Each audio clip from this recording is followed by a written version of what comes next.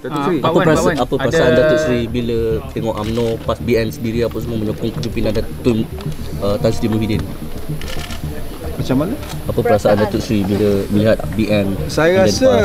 it's a very positive, very positive because I myself have been a minister in Pakatan Harapan government, and I think we could have done better.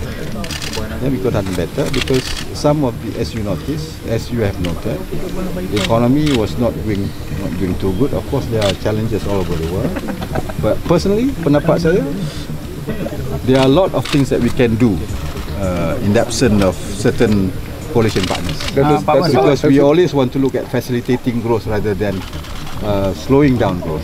Datuk Seri. Ah, Pak Wan, ah, Ikadi Jasin dia ada tweet Dia kata ah, keputusan untuk sokong Tan Sri Muhyiddin daripada Persatu ni tak solid Ada beberapa MP yang tak sokong Tak Jadi dibincangkan dalam MPT langsung. Tak tahulah itu pendapat. Saya pun tak tahu. Tapi apa yang kita lihat hari ini, ya kita lihat hari ini saya nampakkan sokongan kepada Tan Sri Muhyiddin solid.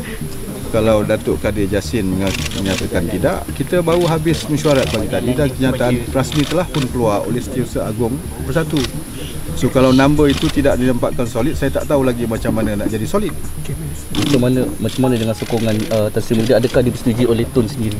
Ha, Tun tidak menghalang.